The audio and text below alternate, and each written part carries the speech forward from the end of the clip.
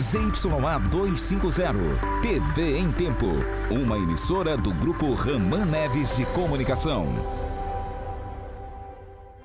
Polícia prende o último suspeito de participar do assassinato de PM no fim de semana. Policial militar é baleado na zona leste de Manaus. Colombiano que seria responsável pela contabilidade da FDN é preso na capital. Finados, cemitérios ficam movimentados no feriado que encerra a programação com celebração campal. Novembro Azul, órgãos de saúde começam maratona para que os homens acima dos 45 anos façam o exame da próstata. E ainda a morte de milhares de abelhas intriga pesquisadores. O uso de agrotóxicos pode ser a explicação. O Jornal em Tempo desse 2 de novembro de 2017 já está no ar.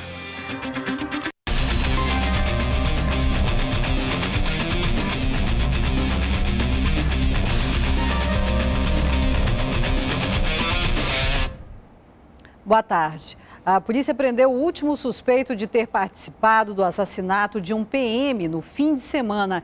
Ele se apresentou espontaneamente na delegacia, acompanhado de um advogado. Jorge Luiz se entregou à polícia com a presença de um advogado. Na delegacia, confessou participação no assassinato do PM Marcelo Chaves de Souza, de 34 anos, no último sábado na cidade de Nova Zona Norte. A participação dele, ele não desceu do carro, ele ficou dentro do carro, ele é o piloto de fuga. Jorge era o último acusado que faltava ser preso. Antes dele, os outros dois suspeitos de participação no crime também já tinham se apresentado espontaneamente à polícia. E pelo mesmo motivo: medo de morrer. Jorge disse que homens passaram na frente da casa dele atirando. Os disparos atingiram a tia dele, que está internada. A Polícia Civil diz que vai investigar a possível represália de PMs. A gente não tem nada comprovado, mas sim, a Polícia Civil vai, vai investigar, vai investigar e a, em tempos a gente vai verificar se procede ou não. Ontem, Leonardo William e Pablo Yuri foram presos. Eles aparecem nas imagens. Yuri segura o PM e Leonardo é quem aponta a arma para o policial. O vídeo não mostra, mas Marcelo leva um tiro pelas costas. A polícia diz que Jorge também tem envolvimento no roubo do carro que era Uber usado no crime. Jorge foi levado para audiência de custódia e deve fazer companhia aos outros dois suspeitos que já estão presos no presídio na BR-174. E um sargento aposentado da Polícia Militar foi baleado na tarde de hoje no Tancredo Neves, na zona leste de Manaus. Dois suspeitos já foram presos. O sargento reformado da Polícia Militar, Valdemir Pereira, de 58 anos, foi atingido por dois disparos de arma de fogo enquanto estacionava em um mercadinho na tarde desta quinta-feira. O crime foi na rua do Areal, no Tancredo Neves, zona leste da capital. Ele saiu para fazer o rancho, ele já estava colocando as coisas no carro. Quando ele se abaixou para amarrar o sapato dele, que ele se levantou, já estavam os quatro em cima dele atirando. Aí ele só deu tempo de ele correr, bateu a porta do carro e correu. De acordo com a polícia, enquanto a vítima estacionava, os bandidos teriam percebido que se tratava de um militar devido à arma dele que estava em cima do banco do carona. Eles atiraram e fugiram. No total, eram quatro criminosos que estavam próximo ao estabelecimento comercial. Os tiros atingiram a barriga e um dos joelhos do militar, que foi trazido aqui para o Platão Araújo, mas teve que ser transferido para o Hospital Delfina Aziz e passar por um exame de tomografia.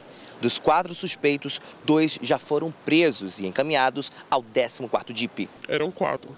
Eles estavam como? Ele não soube falar, que ele não está falando muito, né? Ele não só, só falou que eram quatro, mas não falou se estava de carro, de moto.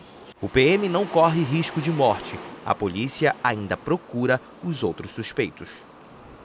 Um aposentado foi encontrado morto na própria casa. O corpo de um outro homem foi encontrado no Distrito Industrial e mais de 30 quilos de drogas são apreendidas pela Polícia Civil. É o nosso resumo de notícias.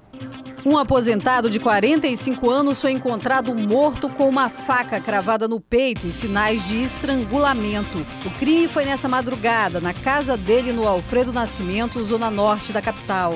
A vítima, que era homossexual, estava sem roupas e pode ter sido estuprada antes de ser morta. O celular dele foi levado e a polícia trabalha com hipótese de latrocínio. Até agora ninguém foi preso. E um homem ainda não identificado foi encontrado morto na manhã de hoje em uma área de mata no Distrito Industrial 2, na zona leste de Manaus. A vítima estava com as mãos amarradas, apresentava marcas de espancamento e pauladas na cabeça. O corpo foi encontrado por populares que avistaram um carro no local e ouviram gritos. A delegacia especializada em homicídios e sequestros investiga os casos. E a Polícia Civil apreendeu 31 quilos de maconha do tipo skunk na noite de quarta em um porto privativo no Santo Antônio, na zona oeste da capital. A droga estava escondida em fundos falsos de um carro que estava sendo embarcado para Fortaleza.